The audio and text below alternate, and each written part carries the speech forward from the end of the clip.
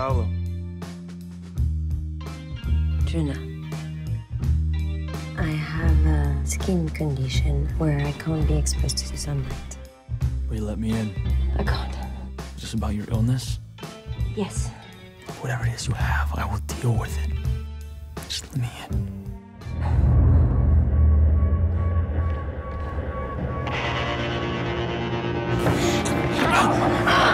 Tell me you're a vampire. What do you think happened last night? Are you kidding me? There's nothing to worry about. You're safe. I can't hurt you this way.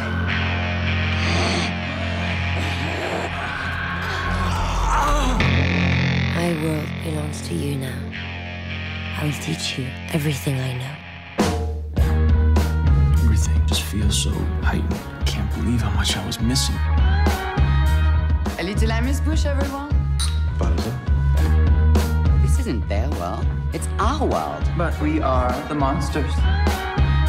Hi, I'm Mimi, Djuna's sister. I'm worried.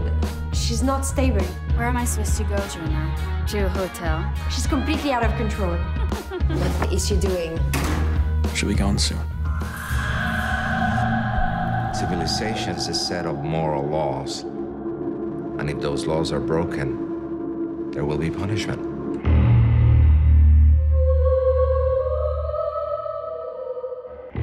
He's offer to buy you a drink. You thirsty? Come here and kiss me.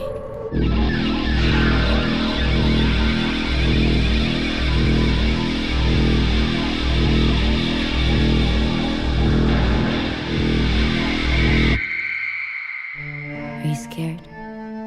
No. I would have done anything to be with you.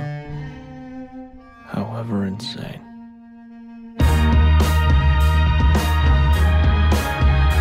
Up, mate. First hundred years are insufferable, but they do get easier.